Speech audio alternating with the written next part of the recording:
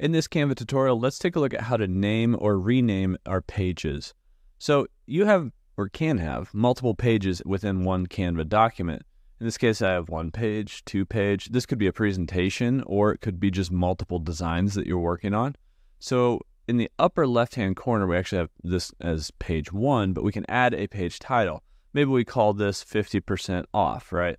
So this is the 50% off page. The next one, Maybe this one is called the spring sale page. So you can see how we can title each one of these pages. This one's up to 70% off, so we'll call it 70% off. So now we have a few different titles of our pages. We can also go to the page view down here in the grid view section, and that's where we'll also see the titles down here below each page, and we can actually just click and rename it pretty easily, just like that.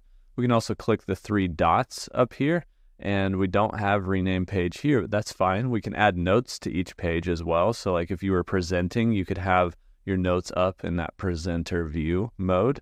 Uh, so whenever we add a new page, we can quickly quickly just edit the page name here. So we could call this a blank page, for instance.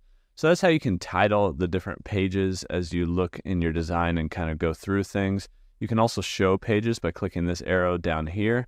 And I believe, let's see if we can no, we can't rename the page there, but we can click on the name again. So renaming the page is just anytime you see the name of the page, you can click on it and rename that page. That's how you can rename pages here in Canva.